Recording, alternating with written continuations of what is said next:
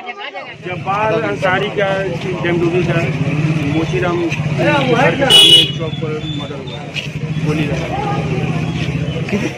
करीब करीब छः बजे का है। इसलिए भी हम लोग फुटेज देख रहे हैं। पता चल जाएगा। अभी तक तो एक खोखा मिला। लगभग फोर्टी फाइव पैंतालीस